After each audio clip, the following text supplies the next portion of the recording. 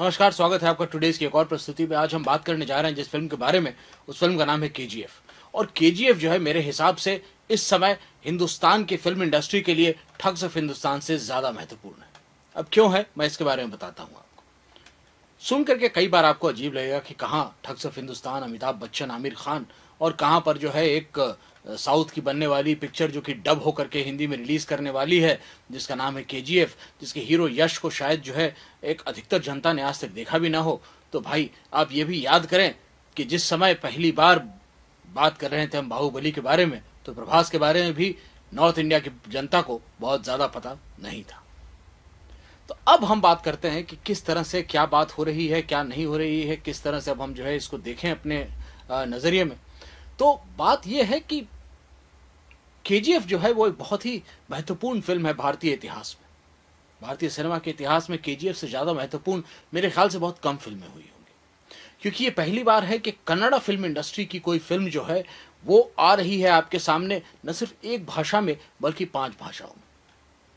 ये मलयालम में रिलीज़ कर रही है, कन्नड़ में रिलीज़ कर रही है, तमिल में रिलीज़ कर रही है, तेलुगु में रिलीज़ कर रही है और साथ ही साथ हिंदी में भी रिलीज़ कर रही है।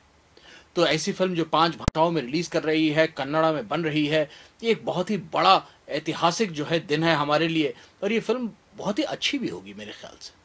अभी तक जो मुझे देखने मिला है इस फ़िल्म के बारे में, वो देख के मैं बहुत प्रोत्साहित हूँ कि एक अच्छी फ़िल्म बन रही है। लेकिन इस फ़िल्म के बारे में एक सबसे खास चीज़ क्या है कि इसके जो हीरो हैं, वो हैं यश, जो कि मेरे हिसाब से बहुत ही परिपक्व कलाकार बनते जा रहे हैं। जब शुरू किए थे तो वो उतने ज़्यादा मज़े हुए कलाकार थे नहीं। आमतौर पर जो आजकल लड़के डेब्यू करते हैं, वो ज़्यादा पॉलिश होते हैं यश के मुकाबले।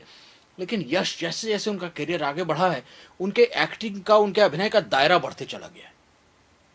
बहुत बार क्या होता है कि आदमी एज एन एक्टर जो है स्टैटिक होता है। आया बहुत टैलेंटेड एक्टर है, लेकिन उसके करियर में कहीं कोई बहुत बड़ी ग्रोथ आपको देखने नहीं मिलेगी कि अचानक वो एक्टिंग के इस आयाम को छू गया या उस आयाम को उसने जो है पार कर दिया। लेकिन यश जो है, हर एक फ़िल्म के साथ अपनी अभिनय की क्षमता जो है, अपनी हिस्ट्रॉनिक्स जो है, अपने जो अभिनय का, जो उनका कला क्षेत्र है, उसको बड़ा करते जा रहे हैं। शुरू में वो इमोशनल सीन्स में उतने ज़्यादा सॉलिड नहीं लगते थे, अब वो इमोशनल सीन्स में भी उतने ही अच्छे लगते हैं, परिपक्व लगते हैं, जितने कि वो रोमांटिक या एक्शन सीन में लगते तो धीरे धीरे कोई भी कलाकार जो होता है, वो अपना दायरा बढ़ाते चलता है, वो अपने आप को जो है और पॉलिश करते चलता है, वही हुआ है यश के साथ। और यश जो है इस फ़िल्म में जब काम कर रहे हैं पाँच पाँच भाषाओं में रिलीज़ करने का दामोदार अपने जो है उन्होंने ले लिया है सर पे। तो इस दारोमदार को लेने के बाद मैं इस बात के लिए निश्चिंत हूँ कि वो कुछ और अपने अभिनय में जो है नया ढूंढ करके एक नया आयाम आपके सामने लेके आएँगे। फ़िल्म का डायरेक्शन और ये तमाम चीज़ें तो मेरी अच्छी लगी रही हैं। लेकिन मैं आज खास तौर पे जो बात कर रहा हूँ, वो है क्यों मैं इस तरह का कॉन्ट्रोवर्शियल स्टेटमेंट दे रहा हूँ कि K G F thugs of Hindustan से ज़्यादा ज़रूरी है।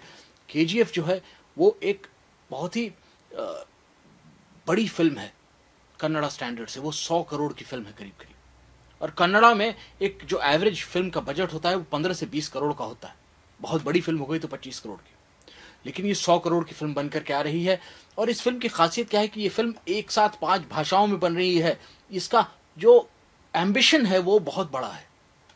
और इस एम्बिशन की तारीफ़ करनी होगी आपको, क्योंकि मेरे हिसाब से जब तक हिंदुस्तान की फ़िल्म इंडस्ट्री ये एम्बिशन नहीं बना लेती है अपना कि हम पाँचों, छहों जो बड़ी फ़िल्म इंडस्ट्रीज़ हैं उनको मिला के एक नहीं करेंगे, तब तक जो है कोई फ़ायदा नहीं है। इन पाँचों, छहों इंडस्ट्री को आके एक जगह होना होगा, एक ऐसी फ़िल्म बननी होगी जिसमें कि हीरो जो है रणबीर कपूर के साथ जूनियर एनटीआर हो। एक ऐसी फ़िल्म बननी होगी जहाँ पर डायरेक्शन त्रिविक्रम कर रहे हो हीरो जो है अजय देवगन हो और विलन बनने के लिए जो है हम लेके आए प्रोसेनजीत को बंगला फ़िल्म इंडस्ट्री से उठा के आइए। प्रोसेनजीत आप अपनी अभिनय की क्षमता जो है दिखाइए अजय देवगन के सामने। जब तक वो नहीं होगा तब तक इंडस्ट्री जो हमारी है वो अगले पा, अगले पायदान तक नहीं पहुँच पाएगी। वो जहाँ खड़ी है वहीं खड़ी है अब। हमने देखा है पिछले चार पाँच सालों में फ़िल्म का जो है स्केल बढ़ा है, फ़िल्म के जो है विविधता बढ़ी है फ़िल्मों में। लेकिन जो एक बड़ा आयाम दिया जा सकता है इंडियन फ़िल्म इंडस्ट्री को, सारे इंडस्ट्रीज़ को एक साथ ला करके वो अभी तक देखने नहीं मिल रहा है। ऐसा क्यों हो रहा है कि बाहुबली के बाद जब राजमौली जो है एक फ़िल्म बनाने के बारे में सोचते हैं तो वो दोनों हीरो जो पिक करते हैं, वो पिक करते हैं तेलुगु फ़िल्म इंडस्ट्री से जूनियर एनटीआर और रामचरण, मैं ये कतई नहीं कह रहा कि वो दोनों एक्टर डिजर्व नहीं करते हैं, वो दोनों बहुत ही अच्छे एक्टर हैं। लेकिन ऐसा क्यों नहीं है कि रामचरण के साथ साथ जो है, इस फ़िल्म के सेकंड हीरो रणबीर कपूर क्यों नहीं है? क्योंकि अभी तक वो मानसिकता नहीं आ पाई है कि हम एक फ़िल्म बना रहे हैं तो इस फ़िल्म को हम पूरे भारत की फ़िल्म करके बनाएँ। अभी भी हम जो है, टुकड़ों में बटे हुए हैं कि ये तेलुगु फ़िल्म इंडस्ट्री है, या तमिल फ़िल्म इंडस्ट्री है। एक ज़माना था जब तमिल और तेलुगु फ़िल्म इंडस्ट्री एक थी। उस समय तेलुगु फ़िल्म इंडस्ट्री को काफ़ी समस्या का समाधान, का सामना करना पड़ा था।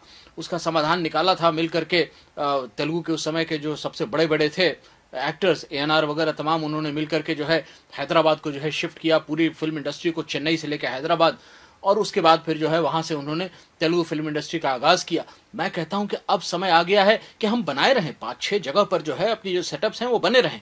लेकिन अब ये चीज़ खत्म हो जाए कि फ़िल्म किस भाषा में बन रही है। फ़िल्म हर भाषा में बननी चाहिए। चार पाँच भाषाओं में बन करके रिलीज़ हो। अच्छा लगेगा। फ़िल्म इंडस्ट्री जो है एक जगह आएगी। बहुत ही बड़ा ये अचीवमेंट रहेगा। और इसीलिए के ज़रूरी केजीएफ इसीलिए ज़रूरी है क्योंकि यश और केजीएफ इस समय जो है, मेरे हिसाब से जो काम कर रहे हैं, वो भारत की सिनेमा का भविष्य है। ये चीज़ आज से पाँच, दस साल बाद होनी थी। ये आज हो रही है। और अगर आज हो रही है तो हमें इसका साथ देना होगा। हमें इसके जो है, पीछे अपनी शक्ति लगानी होगी।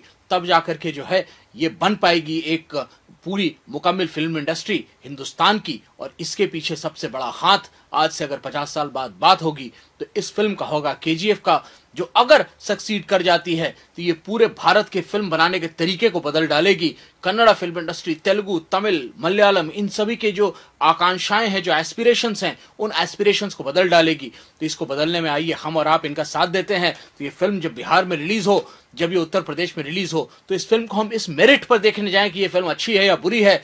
ये सोचकर न देखने जाएँ कि ये फ़िल्म किसी कन्नड़ हीरो ने बनाई है या हमारे बॉलीवुड के हीरो ने।